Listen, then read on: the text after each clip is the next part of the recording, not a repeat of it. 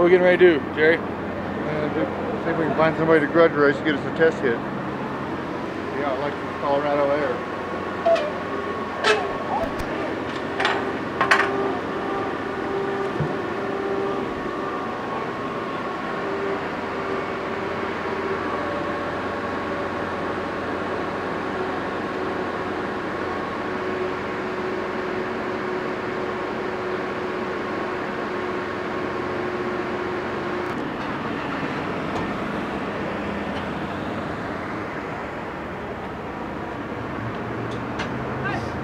What's up, Brittany? Move, move.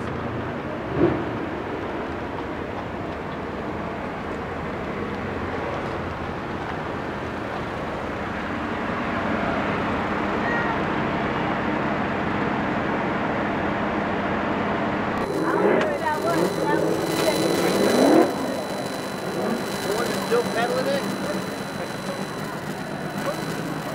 Wait like this. Wall, straighten it up. Up. Up the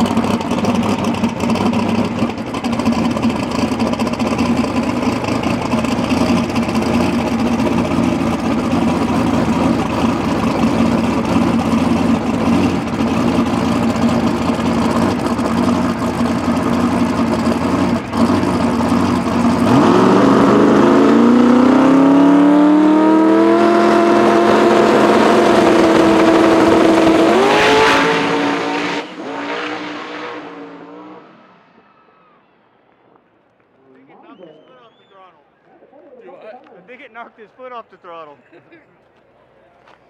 All right, real quick. Your nose is burning now. Diane the baby. Diane the baby. I got the good one.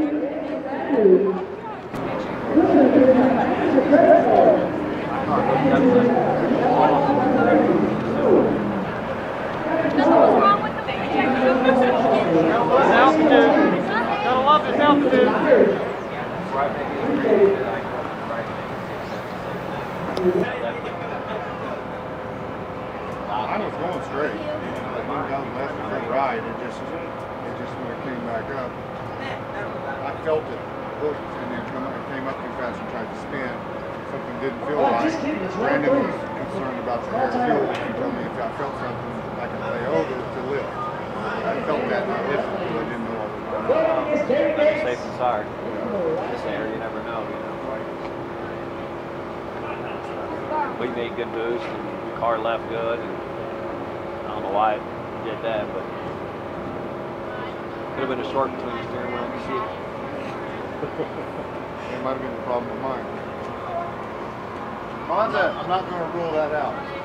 Alright. So are you gonna make another one or no? You guys want it? How do you oil fit on how you float? Not really oil, more fuel.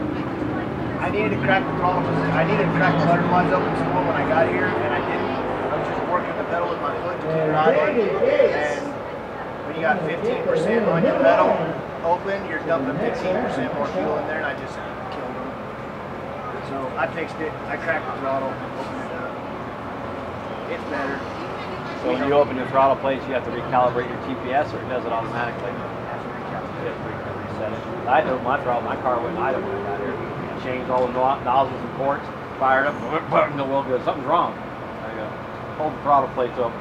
I mean, I had to open them up quite a bit to get it to idle. I think we went two full turns on the screw, but it, as soon as I did, all right, 12, 13,